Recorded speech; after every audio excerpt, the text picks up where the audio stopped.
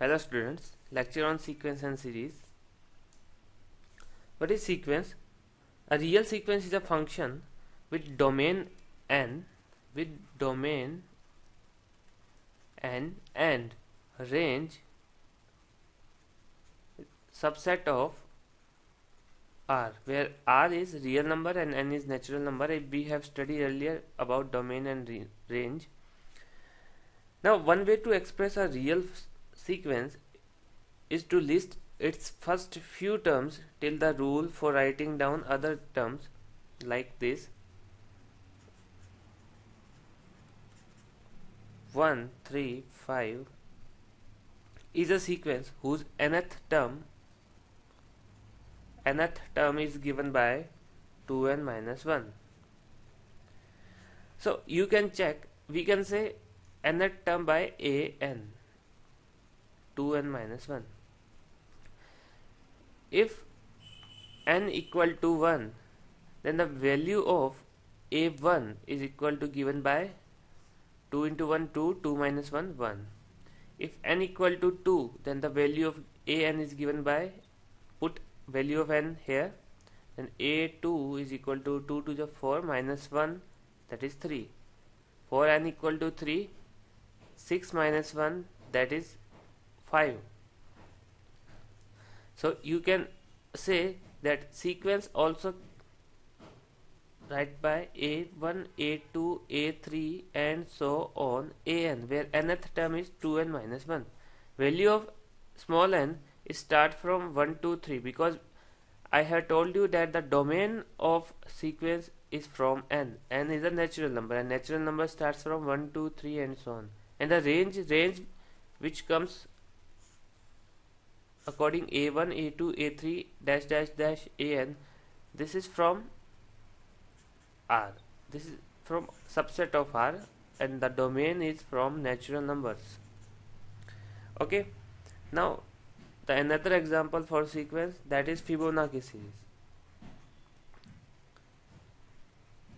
Fibonacci sequence. If you talk about the Fibonacci sequence then you know a1 is equal to 1 and a2 is equal to 1 and an plus 1 equal to an plus an minus 1 for n is greater than equal to 2 this is the Fibonacci sequence method. Okay where value of a1 is given by 1 a2 is also 1 and an plus 1 is equal to an plus an minus 1 this is the relation between nth term and the previous nth term okay?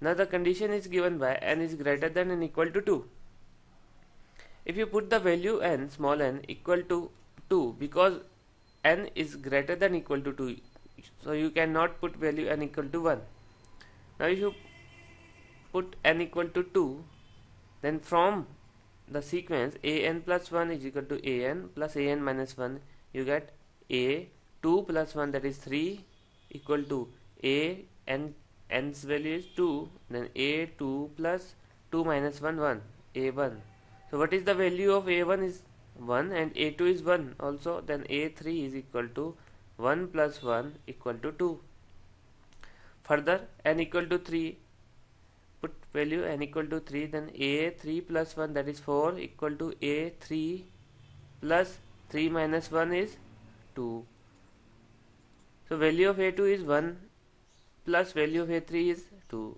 that is 3 hence the terms of the sequence 1 1 2 3 5 8 and so on known as Fibonacci sequence. Okay? Next. Series.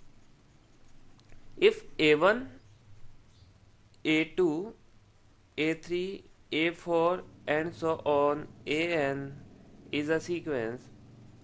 If this is a sequence then a1 plus a2 plus a3 plus a4 plus dash dash dash plus an is a series. A series is finite or infinite according as the number of terms in the corresponding sequence is finite or infinite. If there are infinite sequence number then the series is known as infinite series. If there are finite sequence number then the series is known as finite series. Now this is all about series. What is progression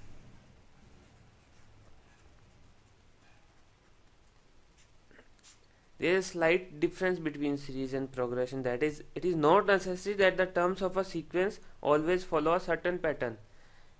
Hence we so that 1 3 5 and so on 2 and minus 1 is also a sequence and 1 1 2 3 5 8 is also a sequence. But for first one sequence follow a pattern. That if we add 2 1 plus 2 equal to 3 3 plus 2 equal to 5 plus 2 7 hence 9 then the sequence first follow a certain rule that if we add 2 with the previous digit we find our next sequence. And for the second one there is no certain rule okay? 1 1 2 3 5 8 hence it is not necessary that the terms of a sequence always follow a certain pattern or they are described by some explicit formulas for the nth term. Those sequences whose term follow certain patterns are called progression. If 1 3 5 7 9 and so on 2n minus 1 is a sequence here. Is a sequence. Okay 1 plus 3 plus 5 plus 7 plus 9 plus 11 plus and so on plus 2n minus 1 is a series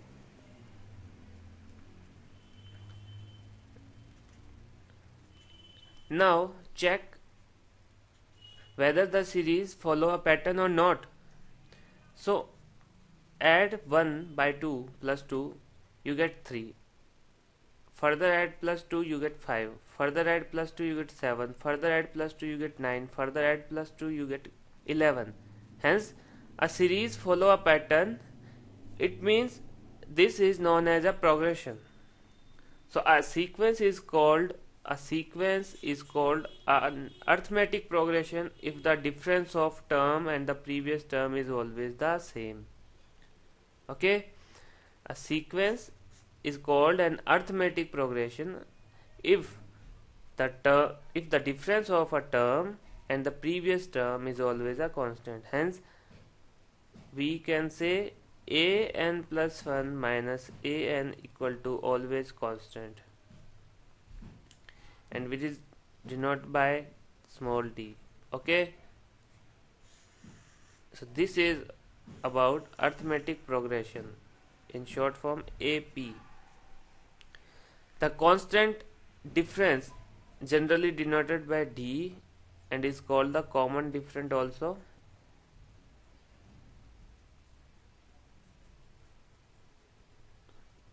Okay? Like example 1 4 7 10 and so on is an AP is an AP whose first term is 1 1 is denoted by first term. And the common difference is the difference of a term and the previous term. The term if you take the term 4 then the previous term for 4 that is 1 then 4 minus 1 equal to 3 and here if you take the term 7 then the previous term for 7 is 4 7 minus 4 equal to 3 and if you take the term 10 the previous term is 7 10 minus 7 equal to 3 you can see 3 is common for all that is common difference small d. Hence 1 4 7 10 is an arithmetic progression. Okay? This is an, this is an also a sequence and also an arithmetic progression. Okay? So we can say that uh, a sequence uh, an, uh, an arithmetic progression is always a sequence but the vice versa is not true. Okay? Now general term for AP before studying about general term of AP we learn how to check whether it is a sequence or a series.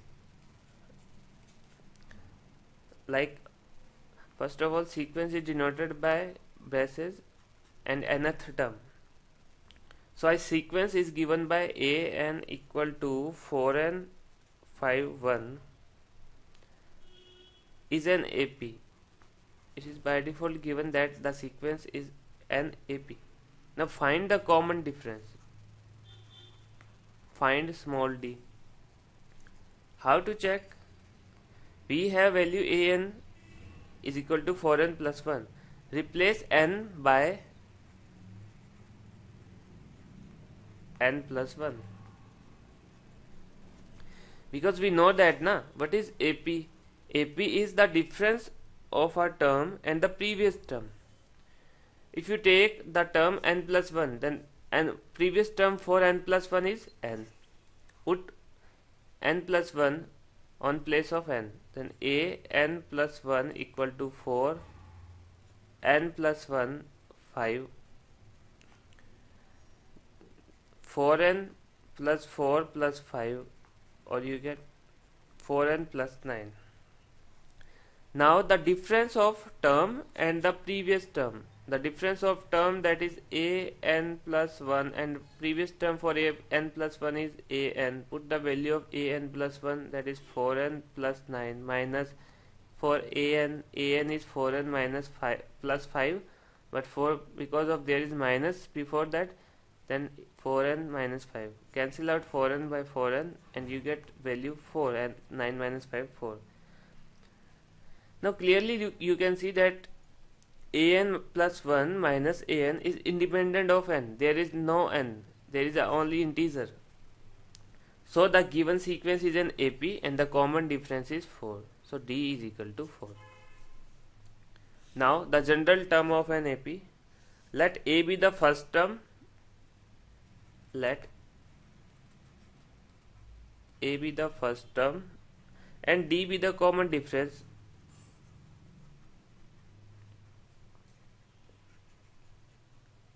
of an AP then the nth term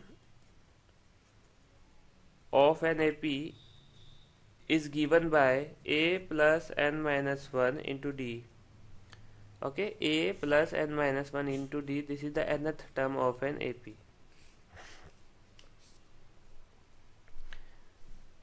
now nth term of an AP from the end. This is the another question nth term of an AP from the end. Now you can know uh, you can see here that a be the first term and the d be the common difference of the AP now having m terms. If an AP have m terms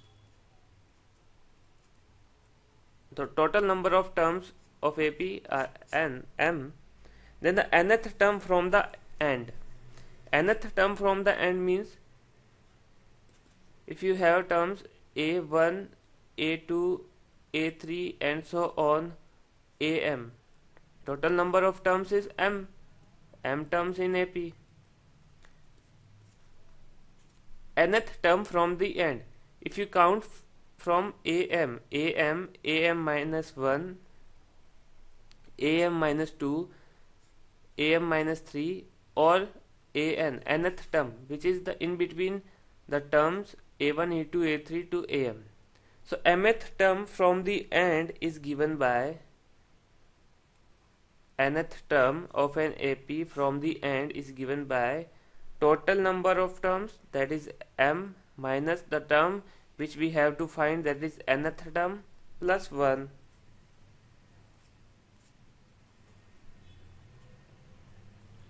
from the beginning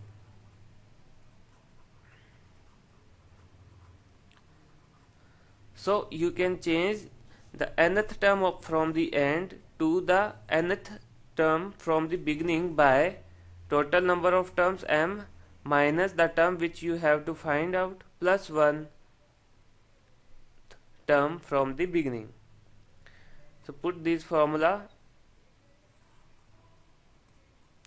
nth term from the end is given by a the number m minus n plus 1 is equal to what is the general formula for an AP a a is as it is plus n. N is the nth term from the beginning.